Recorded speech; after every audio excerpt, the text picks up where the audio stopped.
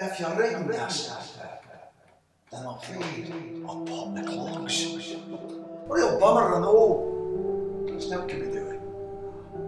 Anyway, that's no way I'm riding.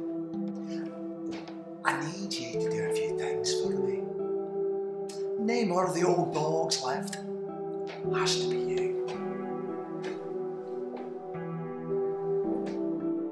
Stick a fiver on the Jags to beat Celtic this week. Oh, and uh, take a stroll to wee Agatha's. See if the old dare needs anything. Community spirit on that. But the real business is my wee Jackie. Needs a hand on his shoulder now he's in the family hot seat. You remember my wee boy, huh? Good lad.